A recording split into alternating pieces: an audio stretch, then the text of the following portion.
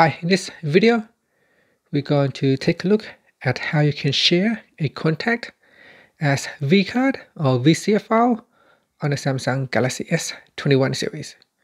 First, tap on the home button to go back to your home screen. On the home screen, open up the phone application. Sorry, so on the phone, you tap on Contacts tab at the bottom. In your contacts list, select a contact that you would like to share so say this contact right here. Then tap on the information button. Next tap on share. Then from the pop-up choose file. And you can see it will now generate a VCF file. And you can share as a link, nearby share. You can share it to WhatsApp or other messenger program. Or you can share it to a text messaging so here I'm going to choose messages and it will ask you to select a contact that you want to share to.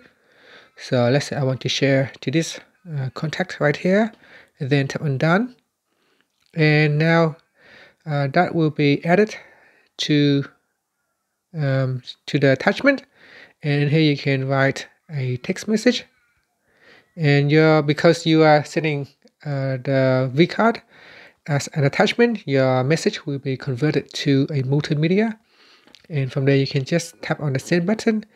And that is how you can share a contact as a vCard or VCF file. And that's it. Thank you for watching this video. Please subscribe to my channel for more videos.